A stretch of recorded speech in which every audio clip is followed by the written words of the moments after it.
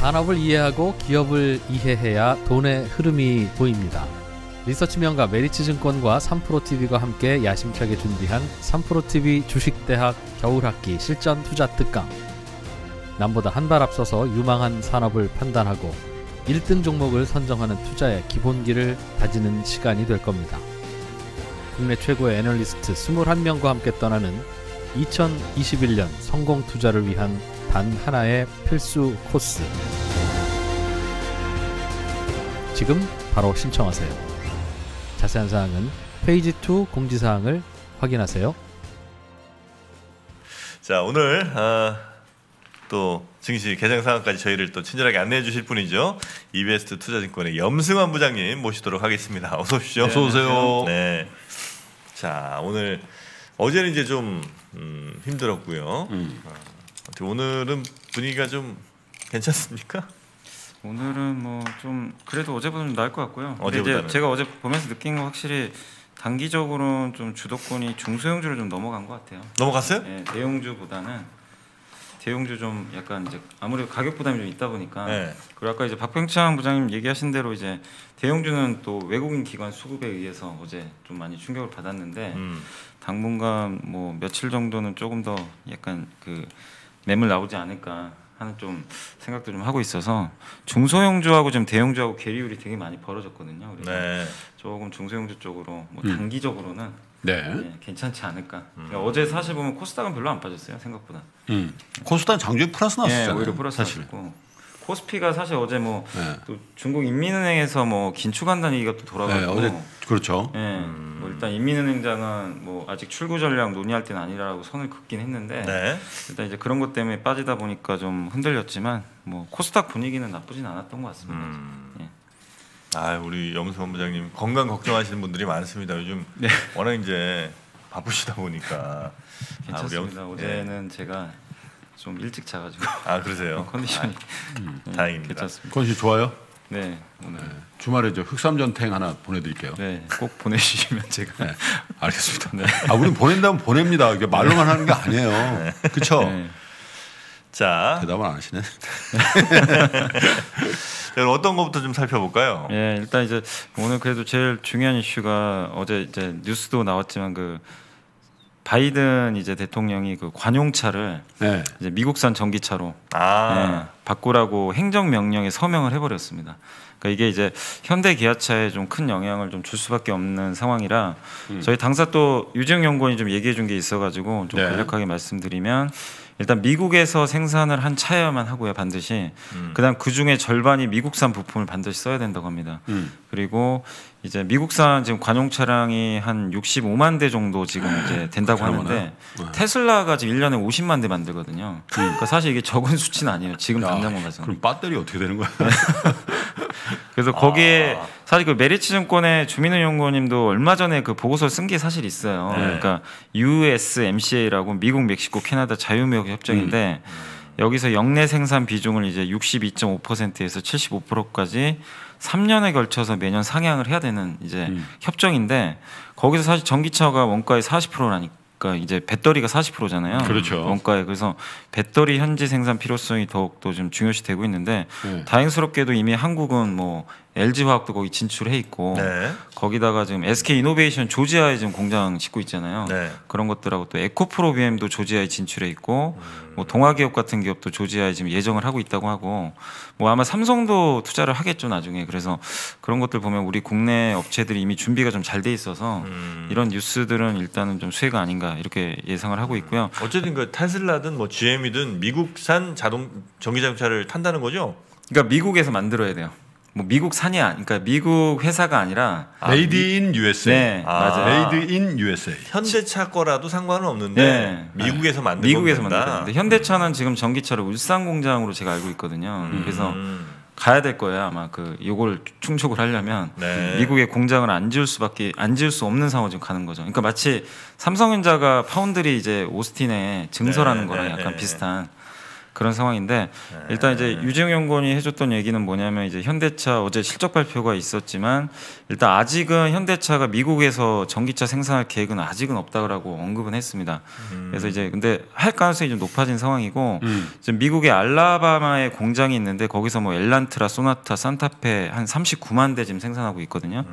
여기에 이제 투싼하고 픽업 트럭 두 개가 더 투입이 되는데 일단 다 엔진 차기 때문에 네. 아직은 좀 계획은 없는데 바이든 행정부가 내세우는 그 Buy American의 시나리오로 가능성을 좀 봤을 때는 결국 현대차, 기아차, 모비스가 아마 조만 그러니까 기아차하고 모비스 실적 발표가 좀 남아 있는데 거기서 뭔가 좀 언급은 있지 않을까 그렇게 좀 생각을 하고 있고 그러니까 지금 당장은 아닌데 결국에 이제 이거는 의무적으로 안 할 안 할 수는 없는 상황으로 가는 것 같아요. 네. 그래서 여러분들이 좀 보실 거는 현대 기아차랑 이제 같이 동반 진출했던 부품사 중에서 약간 이제 전기차 쪽에 좀 관련된 음. 뭐 그런 회사들이 있으면 좀 찾아보시면 좀 좋을 것 같아요. 이거는 이제 어쨌든 이 트렌드로 가는 거는 좀 불가피하고 결국 뭐 국내 2차 전지 회사들이 또 가장 큰 수혜를 받을 수밖에 없는 구조로 좀 같아요. 이런 거 안 한다고 그러지 않았- 아닌가? 아니죠. 아, 바이든- 어, Buy Buy USA, 네, 맞아요. 뭐 Buy America 확실히 한다 아니, 그랬지. 뭐 요런 쪽으로는 안 갈 것 같은데 하시네. 네, 근데 어쨌든 공 이번에 그 나왔던 그 연설에서도 뭐 얘기한 것처럼 네. 어쨌든 리쇼링이라고 그러고 음. 제조 공장을 다 미국으로 들어오게 만드는 게 하나의 목적이라고 네. 하더라고요. 그러니까 그게 사실 고용 때문에 그런 거니까요. 음. 그래서 한국 기업들, 대기업들의 미국 진출이 좀 활발해질 가능성은 음. 높아진 것 같습니다. 네. 예. 자 그리고 두 번째로는 그 이건 좀 증권사 보고서인데 다음 달에 그 MSCI 지수 변경이 있습니다. 아. 정기 변경. 네. 이게 이벤트가 항상 있으니까 2월, 5월, 10월, 그러니까 8월, 11월 이렇게 한 번씩 있거든요. 네. 근데 이번에는 그 유한타 증권의 고경범 연구원이 쓴 자료에는 좀 기대감을 낮추자. 자기가 봤을 때는 이번에 편입되는 종목은 뭐 비기트 정도가 되지 않을까. 음. 그렇게 좀 예상을 해줬고, 그러니까 대, 근데 뭐 대부분 가능성 그렇게 높지 않다고는 좀 썼습니다. 그러니까 네 개 종목 정도가 있어요. 비기트, 녹십자, HMM, SKC 등. 근데 이 중에 일단 비기트는 조금 그나마 좀 가능성이 있어 보이지만 과거처럼 뭐 여러 개 종목이 편입되진 않을 것 같고 음. 오뚜기하고 LG생활건강 우선주는 좀 편입 제외될 가능성은 있는데 네. 이 고경모 연구원은 그래도 자, 자기가 봤을 때는 좀 남아 있을 것 같다 이렇게 좀 얘기를 해줬고 반면에 그 삼성증권의 그 김영구 연구원 같은 경우는 그 비기트는 거의 편입될 가능성 90%로 오. 적어줬어요. 오늘 보고서가 나왔거든요. 네. 그래서 거의 확정될 가능성이 높고 HMN과 SKC 녹십자는 10% 정도.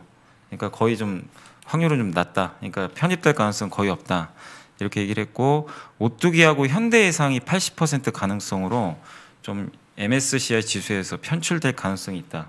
이렇게 좀 그러니까 각각의 의견들은 좀 다른데 MSCI가 기준이 시가총액 기준으로 하는데 이게 좀 유연하게 하나 봐요. 뭐 절대적 기준이 없다 보니까 그래서 애널리스트 사이에서도 좀 의견은 좀 갈린다. 근데 어쨌든 확실한 건 좀 비기트 가능성 높은 것 같아요. 편입은. 예, 그래서 그 점은 좀 염두에 두시고 2월 10일 날 발표를 하게 됩니다. 그래서 날짜 좀 기억하시면 예, 좋을 것 같고 그리고 오늘 그 어제 뭐 뉴스들이 나왔지만 그 중국군 지원기업 투자 제한 행정 명령이 이제 작년에 시행이 됐는데 네. 오늘 중국의 다섯 개 업체가 편입이 제외가 되거든요. MSCI 지수에서. 그래서 많게는 3,200억 정도까지 국내 증시로 뭐 이 리밸런싱이 좀 들어올 수 있다고 하니까 외국인 자금이 오늘 종가에 한번 좀 그런 부분들이 있는지 좀 체크를 해보시면 네. 예, 좀 좋을 것 같습니다. 그리고 뉴스 뭐 한두 가지만 더 말씀드리면 중국이 그 지금 중국 PC 디램 가격이 지금 엄청나게 지금 뛰고 있다고 합니다. 그래서 네. 지난주에도 5.2% 올랐고 이번 주에도 1.6% 올랐는데 고정거래 가격이 지금 그 현물 가격을 지금 못 쫓아가고 있어요. 네. 25%나 낮아요. 그래서 이번 달 말에 아마 발표될 것 같은데 고정거래 가격이 아마 좀 이번 달 말에 급등할 가능성이 네. 높으니까 음. 그 부분도 한번 체크를 해보시면 네. 예, 좋을 것 같습니다. 반도체 관련해서는 어제 저녁에 또 우리 노은창 아, 선생님과 함께 명쾌하시더만. 네. 네. 음, 명쾌하셔. 저는 아직도 그 인상이 남는 게 예전에 그 중국이 메모리 추격하는 거 다 공포에 좀 그 공포심을 좀 느꼈는데 네. 노원찬 선생님은 그냥 선을 그어버렸잖아요. 아 글쎄 제가 그 진행할 때 예. 그, 뭐, 요 경제방에 딱. 나와가지고 아, 땅도 안 팠는데 뭘 고민하는 거 안 했는데 네. 텁하게 안 얘기했던 했다는 기억이 얘기죠. 근데 진짜 정확히 맞추셨어요. 그 메모리 반도체 점유율이 0%라고 하니까 중국이 0%. 0%뭐 거의 없다고 하더라고요. 점유율 자체가. 예. 자, 이제 2분 남았는데 오늘 일정만 좀 간단히 말씀드리면 오늘 이제 FMC가 열리고 페이리장 인터뷰 좀 잘 보시면 좋겠고 네. 중국의 12월 산업 이익이 발표되고 네. 셀트리온 오늘 코로나19 치료제 이제 저번에 1차였고 2차 자문위원회 회의 결과가 발표가 됩니다. 그래서 네. 여기서 최종적으로 좋은 결과 나오면 아마 2월 달에 허가가 떨어질 것 같아요. 그래서 오늘 2차 결과 발표 한번 지켜보시고 그리고 마이데이터 사업 예전에 예비 허가가 떨어졌는데 오늘은 음. 본허가 이제 최종적으로 결정을 한다고 합니다. 사업자들. 네. 그래서 지켜보시고 그다음에 실적 발표. 아까 LG 디스플레이는 엄청난 실적 냈더라고요. 방금 나왔는데 그러니까요. 네. 두배 정도 이익이 예상보다 잘 나왔고 그 외에 LG와 기아차, 뭐 삼성용이 같은 지금 기업들이 다, 다 surprise 나오죠 지금 현재 네, 대, 대, 대 기업들 웬만한 데들은 그죠? 예. 음. 네. 그래서 좋은 실적들이 좀 나오고 있는데 오늘도 한번 좀 지켜보시면 좋겠습니다. 네. 자 이제 시작하는군요. 장이 시작이 예. 되고 있습니다. 네, 오늘 일단 예상 지수는 코스피가 3,150포인트 정도, 한 10포인트 정도 네. 어제 충격에선 좀 벗어날 것 같고요. 다시 어제 그 코스닥이 역사적인 뭐 날이었죠. 천을 한번 찍었다가 음. 예. 밀렸는데 오늘 시초가에 다시 한번 좀 타진할 것 같습니다. 그래서 플러스 5포인트 정도에 일단 시작할 것 같은데 그래도 어제 시장에서 제가 보면서 좀 느꼈던 게 이게 진짜 안 좋은 장이면 중소형주고 뭐고 없거든요. 그냥 다 망가지는데 원래 중성이 더 밀리죠. 네, 더 밀리죠. 근데 어제 확실히 중소형주도 살아 있다는 건 음. 아직 뭐 강세장 기조 자체는 꺾이진 않은 것 같아요. 음. 네, 그래서 오늘도 중소형주가 좀 좋아질지 아니면 또 하루 만에 또 대형주가 또 바톤 터치해서 또 강할지 네. 그건 한번 지켜보시면 되겠습니다. 네. 자 일단 지금 이제 시초가 나오고 있고요. 삼성전자는 지금 거의 보합 정도에서 일단 스타트를 끊어줬고 어제 실적 발표했던 현대차도 한 0.2%, 카카오가 0.8% 정도 일단 오르면서 대체적으로는 이제 어제 급락했던 기업들이 뭐 아주 강하게 출발 안 했지만 강보합 정도 선에서는 일단 음. 출발은 잘 하고 있다 이렇게 보시고 음. 금호석유가 최근에 굉장히 좋은데 오늘도 한 4% 정도 올랐고 어제 삼성바이오로직스가 실적이 되게 잘 나왔더라고요 예상보다 그리고 3공장 지금 수주가 다 차 있는 상태고 4공장 수주 얘기도 좀 나오고 있어서 오늘 한 3% 정도 주가 올랐고 LG 디스플레이가 방금 나온 것처럼 실적이 워낙 잘 나와서 한 3% 정도 지금 주가가 상승했습니다. 그리고 더존비전도 어제 실적 괜찮더라고요. 그래서 음. 1% 정도 반등을 했습니다. 그래서 실적 잘 나온 기업들이 오늘 일단 상위권에 포진을 하고 있고요. 그다음에 일부 하락하는 종목은 뭐 최근에 어제 좀 많이 올랐던 그 백신 관련주 녹십자는 좀 빠지고 있고 네. 그다음에 LG화학도 한 0.1% 정도 약간 좀 밀리면서 근데 크게 밀리는 종목은 아직까지는 없는 것 같습니다. 그리고 코스피 이제 한 200위권까지 한번 말씀드리면 오늘은 그 화장품주 중에서 코스맥스가 한 3%. 그 어제 뉴스 보셨겠지만 그 문재인 대통령하고 시진핑 주석이 통화했다고 어제 음. 기사가 나왔더라고요. 그래서 네. 뭐 방안이라든가 교류 협력 이런 얘기가 나오다 보니까 뭐 중국 소비주에 좀 약간 모멘텀으로 작용하는 것 같아요. 그래서 네. 코스맥스, 한국콜마 이런 기업들이 오늘 좀 출발은 좋은 상황이고 그 외에 뭐 삼양식품은 조금 뭐 실적 부진 얘기가 좀 나오곤 있는데 어쨌든 오늘도 주가는 0.3%뭐 많이는 안 밀리는데요. 일부 좀 밀리고 메리츠 화재 0.3% 하락. 그래서 밀리는 종목들이 일부 있지만 뭐 그렇게 큰 뭐 크게 밀린다거나 그런 모습은 아직까지는 없는 것 같습니다. 그래서 네. 코스피는 일단 출발은 대체적으로 무난하다. 이렇게 말씀드리고 싶고 코스닥 쪽에서는 오늘 SFA가 OLED 장비 회사인데 한 3% 올랐고요. 그다음에 아침에 오랜만에 그 SM 좀 좋은 보고서가 나왔더라고요. 그래서 목표 주가를 한 증권사에서 상향 조정했습니다. 그래서 음. 2.7% 정도 오늘 상승 출발했고 그다음에 또 중국 소비와 좀 연관돼서 이제 뭐 중국이 만약에 개방되면 수혜를 받는 이제 또 대표 게임주 중에 하나가 펄어비스 검은 사막 네, IP를 검은 갖고. 있잖아요. 예. 음. 그래서 그런 이유 때문인지 몰라도 오늘 한 3% 정도 주가가 상승세로 일단 잘 출발했습니다. 그리고 오늘은 그 MC넥스가 좀 빠지고요. 그 엔지캠 생명과학이 1.7% 정도 빠지고 지트리비엔티가 이게 안구건조증 치료제인데 네. 만드는 신약 개발 업체거든요. 근데 최근에 저도 정확한 뭐 팩트는 모르겠는데 주가 흐름이 그렇게 좀 썩 좋지는 않습니다. 그래서 오늘도 한 4% 정도 빠지고 있는데 일단 주주분들은 좀 계속 내용을 체크해 보셔야 될 것 같아요. 최근에 이틀 전부터 좀 주가 흐름이 좀 안 좋더라고요. 네. 내용은 아직까지 정확하게 나온 건 없습니다. 그리고 다른 이제 코스닥 쪽에서는 오늘 그 인크로스 그 SK텔레콤의 이제 미디어 광고 기획사죠.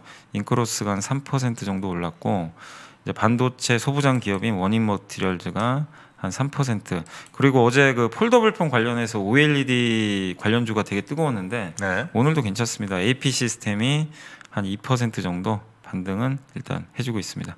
자 다시 지수 좀 말씀드리면 코스피가 일단 오늘 좋습니다. 오늘 3,164까지 다시 복원됐고 0.7% 올랐고요. 뭐 코스닥도 괜찮은 것 같습니다. 999.20, 0.52%. 그래서 일단 오전장은 양 시장 모두 다 흐름은 되게 괜찮은 것 같아요. 예. 그리고 어제 개인들이 정말 뭐 주식을 완- 그냥 지르, 지르 셨죠. 그냥 이 빠질 때마다 그냥 담으셨는데 네. 오늘은 일단 오전에 한 300억 정도 순매수하고 있고 근데 어- 어제부터 좀 외국인이 많이 팔곤 있는데 오늘도 외국인들이 코스피 중심으로 한 700억 정도 지금 좀 공격적으로 매도를 하고 있습니다. 그래서 계속 외국인들이 대형주 중심으로 매도하는지는 오늘 오후까지는 한번 좀 체크를 해봐야 될 것 같습니다.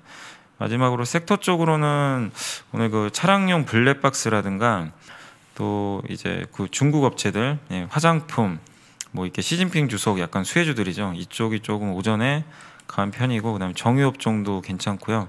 그리고 2차 전지 업체도 이제 아까 말씀드린 대로 바이든 관련해 가지고 그 현대차가 이제 거기에 공장 지을 수도 있다. 네. 기대감 때문에 2차 전지 관련 기업들이 일단 대부분 좋고 역시 뭐 그 신세계라든가 호텔신라 같은 면세점 업체도 음. 일단 좋은 편입니다. 근데 뭐 아주 막 이렇게 급등하거나 그런 섹터는 보이지 않고요. 네. 하락하는 쪽은 뭐 거의 없는데 일부 반도체 재료, 코로나19 치료제, 음. 뭐 자전거 관련주. 근데 뭐 큰 이슈는 없기 때문에 하락하는 기업은 그렇게 큰 의미는 없다 이렇게 네. 말씀드리겠습니다.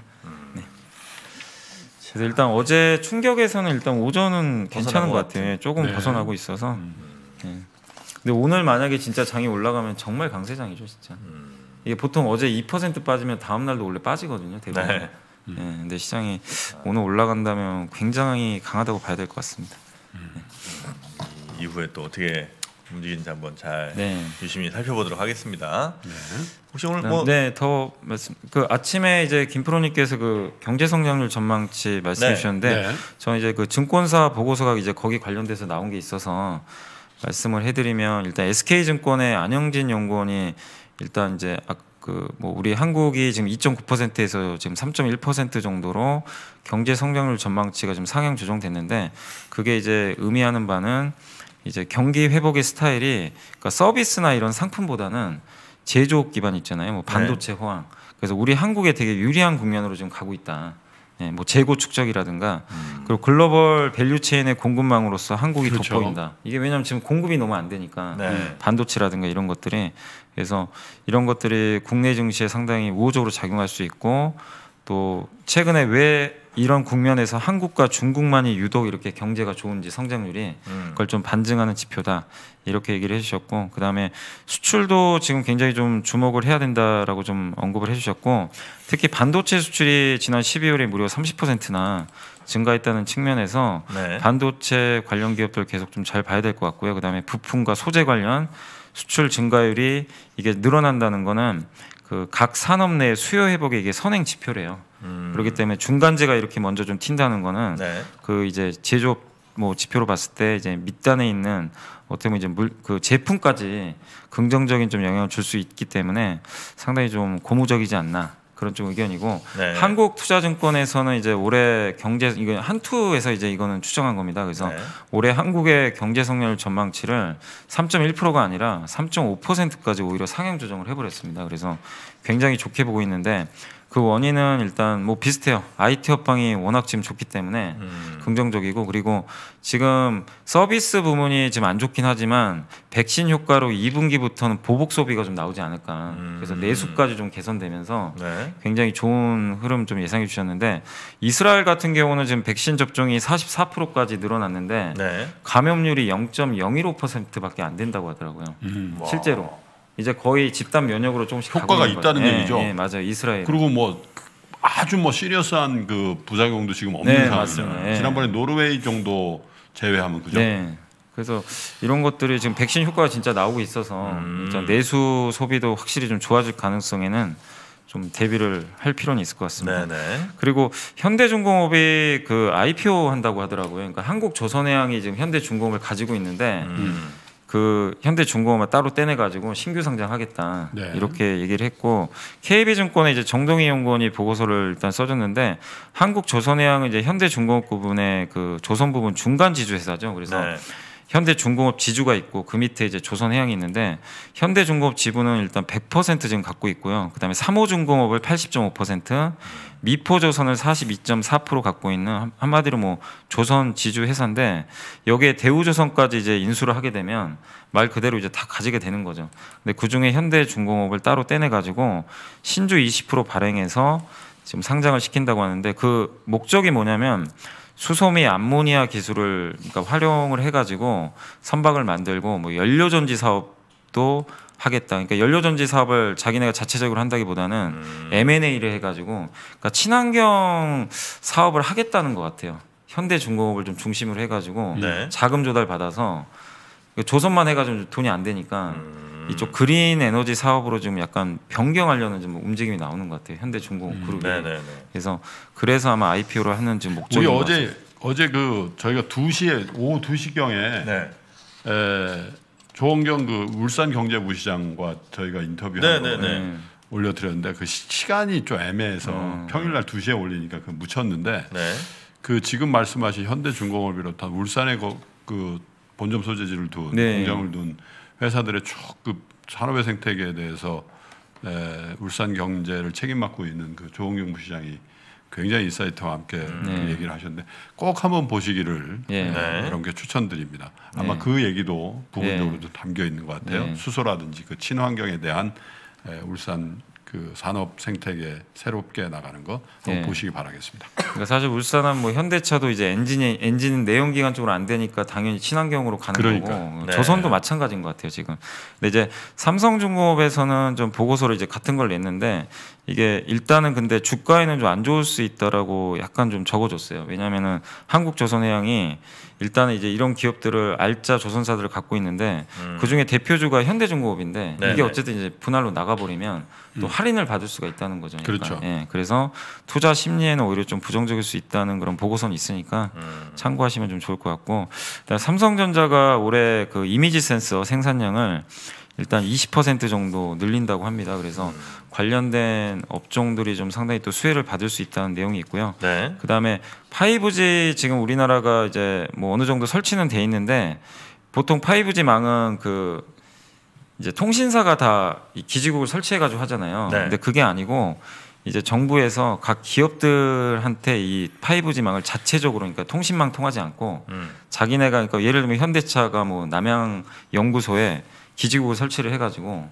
자체적으로 5G를 사용할 수 있게 하는 거를 좀 허가를 냈다고 하더라고요. 그래서 네. 어제 5G 절, 뭐 플러스 위 전략 플러스 위원회인가요? 그게 열렸다고 하는데 음. 그렇게 되면 이제 각 기업들이 이 5G 주파수를 이용해 가지고 뭐 자율주행이라든가 데이터 산업을 이제 적극적으로 더 투자를 할 수가 있는 거죠.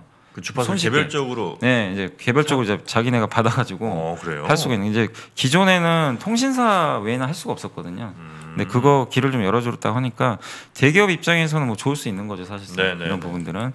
그리고 삼성전자가 반도체 투자 요새 계속 얘기 나오는데 그 35조 시동 걸렸다는 어제 뉴스 나왔는데 거기서 좀 주목하셔야 될게 그 음. 다른 거는 다 비슷비슷한데 디램이 원래 투자가 좀 많지 않을 걸로 예상했는데 네. 디램 투자가 기존보다 한 3, 4조 정도 늘어날 거라는 얘기가 좀 나오고 있어요. 음. 그래서 일단 디램 장비 업체들이 최근에 좀 안 좋았었는데 음. 그 여기에 3, 4조가 만약에 추가가 된다라면은 장비 업체들한테도 좀 좋을 수가 있으니까 음. 한번 좀 체크하시면 좋겠고 그다음에 화웨이가 아까 이제 속보 떴는데 예전에 그 중저가 브랜드 아너를 매각한다고 했었잖아요. 그래서 아 네. 예. 근데 고가 브랜드까지 넘긴다고 하더라고요. 기사가 나왔는데 아, 완전 포기해서 이제 거의 포기로 가는 것 같아요. 지금 음. 분, 분위기 자체가 P 시리즈랑 메이트 시리즈가 고가 폰인데 네.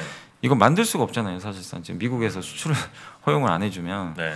그래서 일단은 아예 브랜드 자체를 좀 매각하려는 쪽으로 음. 가는 것 같고 그다음 그거랑 이제 또 비슷하게 중국의 오필림이라는 카메라 모듈 회사가 사실 예전에 그 신장 위구르 지역의 그 아동 착취 뭐 이런 것 때문에 네. 애플에서 이제 탈락한다는 얘기가 나왔는데 실제로 이번 아이패드 모델에 오필렘이 탈락됐다라는 또 뉴스가 방금 떴습니다. 그래서 음. 중국 제재는 계속 이어지는 것 같아요. 그리고 현대차의 아이오닉 5가 그 유럽에서 3월 말에 이제 처음 출시를 한다고 합니다. 네. 그래서 이게 어쨌든 성공을 해야 되거든요. 현대차 입장에서는 음. 플랫폼 모델이니까 그래서 네, 다음 그러니까 이 3월 말에 진짜 이제 출시해서 정말 인기를 좀 끌지 현대차는 이제 좀 시험대에 놓여 있는 이제 구간으로 가고 있기 때문에 네. 주주분들도 이 부분 좀 잘 체크하시면 예, 좋을 것 같습니다. 음. 그 기아차가 그 요새 그 막 스팸 문자들 많이 오잖아요. 네. 이거 사라 막 근데 기아차를 막 여기저기서 추천을 많이 하나 봐요. 이게 스팸 문자로. 그래서 투자 주의 종목으로 지정이 됐대요. 이게 아, 스팸 문자 많이 스팸 문자 많이 오면? 그 종목을 투자 주의 종목으로 걸어버린대요 하루 정도. 여러 가지로 피해를 주는구만 예, 그분들이. 예. 요새 왜냐하면 너무 이슈가 많은 종목이다 보니까 네. 여기저기서만 문자로만 남발하나. 염승한 추천주 이렇게도 오, 오- 오는 거 예, 아니에요? 그러니까 저도 보내주셔가지고 큰일 났어요. 예, 참. 아무튼 좀 그런 거 그런 문자나 카톡 그거 좀 주의 계속 하셔야 될 것 같아요. 진짜. 네. 그리고 또저 주식이 워낙 관심이 있으니까 문자로 오면은 또 이렇게 눌러 보게 돼요. 네, 음, 예. 하신 그 분들이 아예 많으니까. 저는 아예 안 누르거든요. 누르면 또 이상한 거 막 바이러스 될까 봐. 될까봐. 네. 자, 하여튼 뭐 지금 현재 상황은 어, 좀 음, 하락하고 코스닥은 있어요. 하락 예, 반전 해버렸군요. 네. 확실히 어제 좀 급락의 여파가 조금 오전까지 이어지는 것 같습니다. 네. 예. 자, 그러면 오늘 우리 연 부장님과의 시간은 이 정도로 정리하도록 하겠습니다. 우리 이베스트 투자증권의 염승환 부장님 대단히 고맙습니다. 감사합니다.